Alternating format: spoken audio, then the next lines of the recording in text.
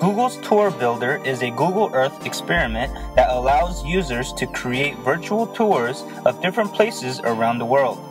Here is an example of how this tool can be used in the classroom, specifically in a 5th grade project, Lewis and Clark Expedition Tour. The project is based on the 5th grade California History Social Science Standard 8.3.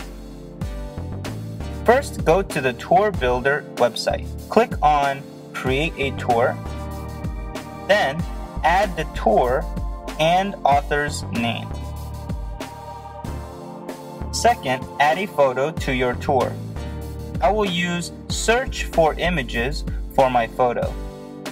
Choose your image, then click on Select.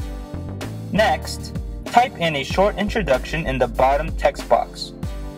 You can also choose the path color and change the other advanced options. Now it is time to add a location. Type in a location, then click on Add to Tour.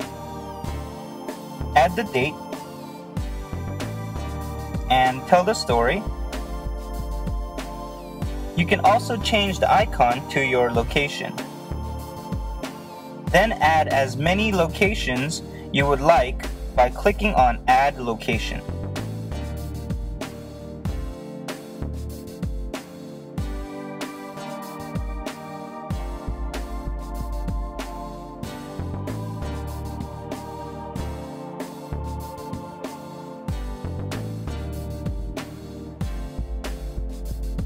When you are finished with your tour, click on Done Editing.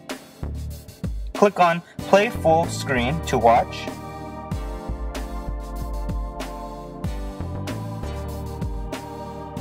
And then Share to invite people to your tour.